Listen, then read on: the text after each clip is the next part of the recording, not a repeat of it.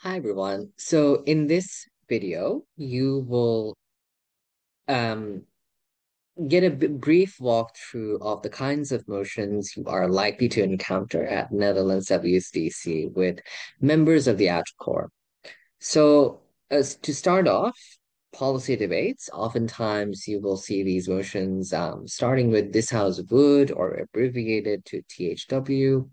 There are a couple of things that you need to remember about these motions. Um, the motion assumes that proposition teams have the power to implement the policy they detail and that this would pass in parliament.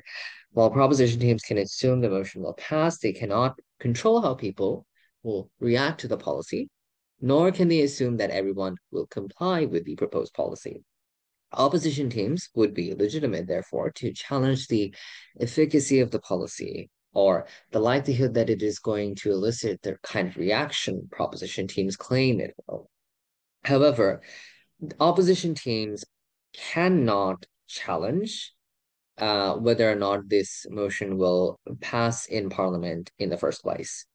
Proposition teams can propose a model illustrating how they want their policy to be implemented, although having a model is not a necessary condition for proposition teams to be able to win a debate. Oftentimes, if your substantive arguments are relevant, if your responses to your opponents are good, you can still win the debate even without necessarily specifying a model.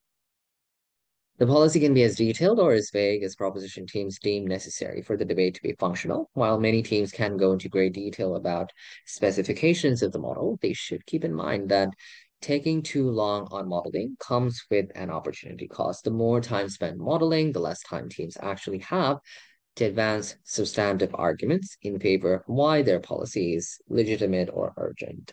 Uh, thus, this might affect how persuasive they are to the judging panel. Opposition teams have equal fiat in the debate and have the ability to propose a counter model, although it is not necessary for them to do so in order to be able to win. Um, what this means is that the opposition can claim they can utilize the same amount of resources or power for their proposal.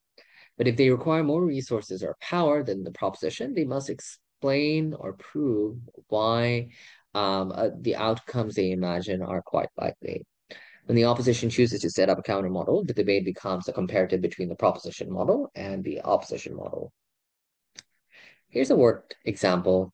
Um, this house would institute quotas for men in university departments where they are underrepresented, including in veterinary sciences, psychology, education, and teaching, etc. Um, so just to very basically cover uh, the do's and don'ts of this it is legitimate for a proposition to assume that the motion will pass Parliament. It's also legitimate for a proposition to propose a model to illustrate how they would like this policy to be implemented. Proposition might say that they will institute a 50-50 quota for men and women in such university departments.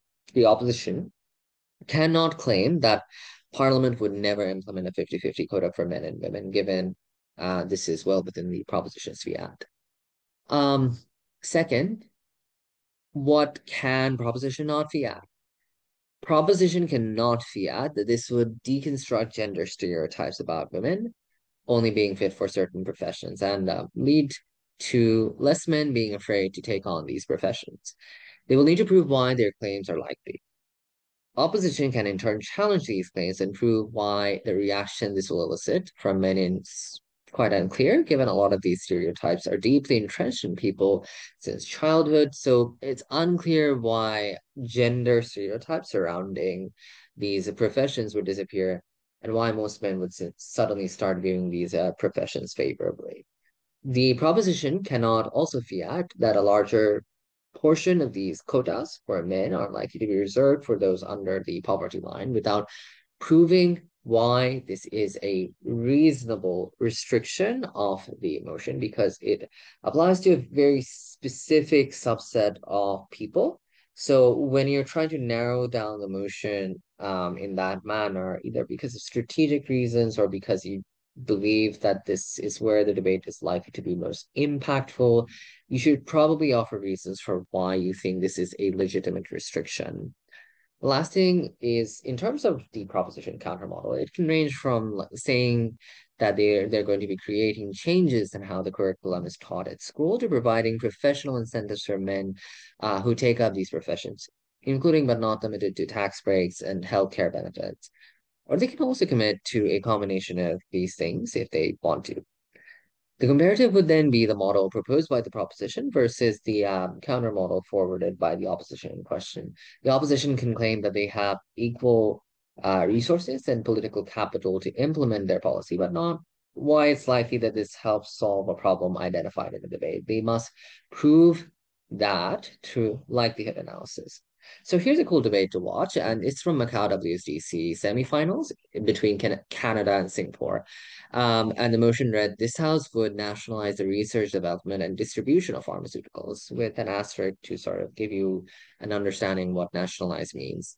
Um, we would first suggest that you think about proposition and opposition arguments for this debate. Think about how you would set up a model or a counter model, and then go and watch that video for um, reference. There's a special subset of um, policy motions, which we shall briefly cover in this video as well. And they are oftentimes phrased as this house believes uh, the X should uh, do Y. Um, just as an example, this house believes that the West should look to establish diplomatic relationships with the Taliban government.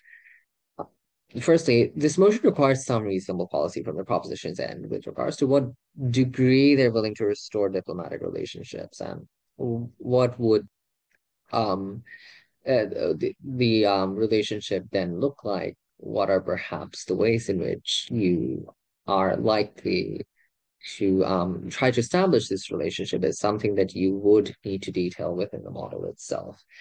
As in any other debate proposition must clear up uh, what problem they wish to resolve or what goal they wish to achieve through the restoration of diplomatic relationships.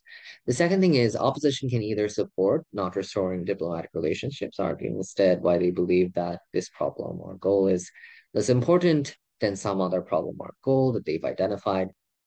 Or they can provide a counter model detailing why their proposal is likely to address the problem identified by the proposition, but likely in a manner that is uh, better so again, um, there is a video that we would recommend for you to go and look up. Of course, first, um, think about both sides of the motion. Think about what specific things you would sort of try to detail within the model and what things you'd rather just leave vague and up to the debate. Uh, and the motion read, in times of economic crises, this house believes the government should withhold information that's likely to damage market confidence. Um, this was from Macau WSDC 2021, partial double octos um, with Mexico and Australia. Hope this was helpful. Um, and of course, if you have questions, feel free to shoot us a message.